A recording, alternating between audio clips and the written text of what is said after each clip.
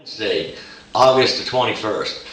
Uh, they've got the floodgates shut off on the lake, so the lake's still coming down, but it's coming down a lot slower than it was. They're just doing normal generation now. But the lake level's right at 917, which is, uh, you know, normal power pool.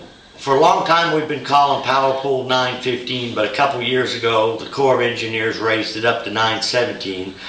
So they've uh, they've recently changed it. If you go to the uh, Corps of Engineers lake level on Table Rock, you'll see normal power pool at 917. So that's kind of what we're going to go by. But at 917, there's quite a bit of stuff in the water.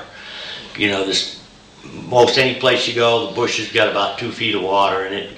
And the water temperature in the mornings about 81, 82 degrees. Uh, now, yesterday afternoon, I was up in the upper river late in the day and it, I found some 85, 86 degree water. But for the most part, you know, the main lakes, you know, 82, 83 degrees. And with the water slowing down, I actually think the bites picked up. Uh, it's got a lot more consistent. Now, there's, uh, like I say, there's a couple feet of water in the bushes. I've still been catching some fish, you know, on a, uh, a sweet beaver, some on a pig sticker jig up in the buckbrush and around the willows, and even some on a frog. But my, my shallow bite's real inconsistent. I mean, I've got to be in the creeks, uh, preferably in the river arms where the water's stained. And speaking of the water being stained, the river arms right now look look excellent. I mean, the, it's got good watercolor. There's hardly no debris out there floating around. Uh, most of the mud color is gone, so uh, the rivers really look good. You know, I was up in Long Creek a couple days ago. I was up in the James today, and uh, like I say, it, it the, the color really looks good. There's a lot of bait fish up on the flats, on the shallow flats. Uh, I've been catching some of them on a, on a square bill, uh, like an RC 2.5 or a 1.5, and I've been using kind of a splatterback color. Here's a 2.5. I've been using a, also a 1.5 and I've got a little Strike King 1.5 here that Fall Creek Lures did a custom paint job on. This one seems to be working about the best. But it, if I want to get down a little bit deeper, I'll use the 2.5. But I found a lot of the shad up in the up in the rivers on the flats, and they're actually balled up. And every once in a while, you'll you know you'll see a feed out there. If there's any kind of structure uh, any kind of laydowns or stobs, you want to throw that crankbait around that and bounce it off of it. If not, just watch for them uh, balls of shad. They'll be in about three foot diameter circles. They're kind of schooled up. And what I'm doing is I'm just running the crankbait around them and underneath them. And a lot of times there'll be one or two cast lengths out off the bank, but it'll only be six to eight foot deep up on those uh, river flats. And the, you know the shad up there, I'm seeing a thread fin, which about two, two and a half inches, which these crankbaits are matching just about right. Now those are the same areas where I'm getting bit shallow, is on the edges of them flats where there's a little bit of wood cover and buckbrush up on the bank. But like I say, the crankbait bite's probably been a little bit better for me up there in that real shallow water than the flipping bite has. And I've also been throwing a frog a little bit up underneath some of the willow trees and back in some of the debris. And I'm getting as many frog bites as I am uh, flipping bites.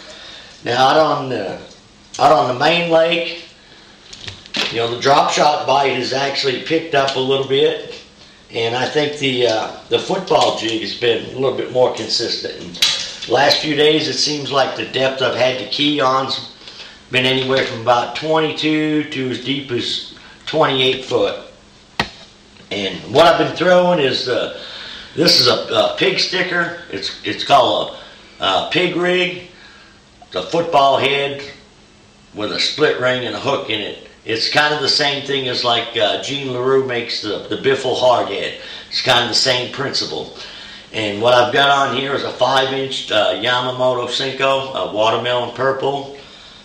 Another one that's been working good is a is a green pumpkin, or it's a watermelon black with red flake.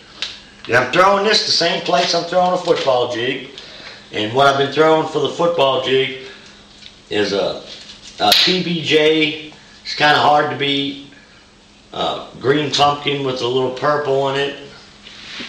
And I've been using a Zoom uh, speed craw for the trailer. And like I said, I've been throwing this 22 to 26, 28 feet. Some of the fish are coming out of brush piles, but most of them uh, just relating more to the rock changes on main lake and secondary points. Any place where you got a, like a channel on one side where you got a little bit deeper water. And a lot of the brush piles that I've been fishing have been the, the conservation brush piles that they've set.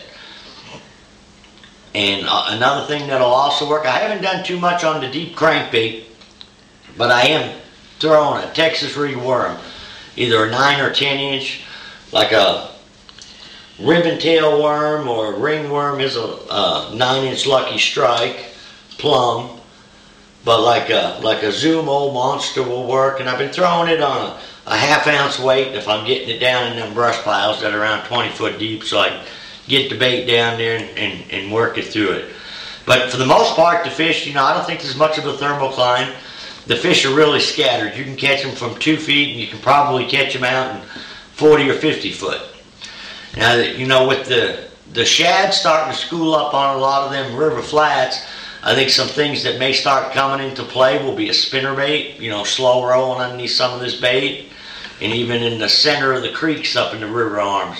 You might have to drop that spinner bait down to 10 or 15 foot. Uh, that's something we'll get into a little bit more next week. But another thing I've thrown in my boat, I think it's getting close to time to work, and I put my Alabama rigs back in. With a lot of the shad on the move like that, I think it's time to start getting out on some of them a uh, little bit deeper drops over the deeper trees and try that A-rig some. Now as far as my top water bite, uh, you know, I've still got a top water rigged up, you know, on the boat at all times. I haven't seen very much top water action. It's been a little bit in the morning, not too much throughout the day, but, uh, you know, I pretty much keep on on the deck till that water gets down into the 60s. I mean, I've always got one handy in case the fish start schooling. But looks like the weather's going to be real nice. It's going to lake level, like I say, it's, it's right down at 917, and I think they're going to keep it you know, right at 916 and a half to 917. Looks like they're slowing the generation down. So, you know, things are going to start to stable out and the fishing should get even a little bit better. But, you know, you're looking at, at fall patterns, which is typically where the fish tend to scatter all over the place.